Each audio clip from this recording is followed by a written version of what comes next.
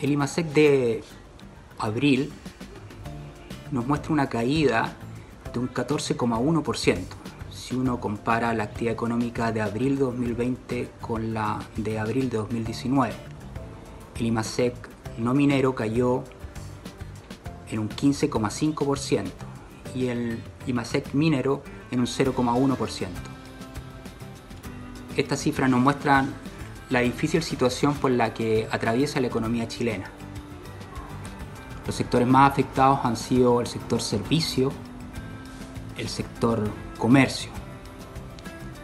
Con estas cifras no es difícil proyectar que en 2020 lo más probable es que la economía chilena caiga en una recesión que significa una contracción del Producto Interno Bruto de a lo menos un 7% la cifra más alta desde la recesión de 1982, cuando el Producto Interno Bruto cayó en un 14%.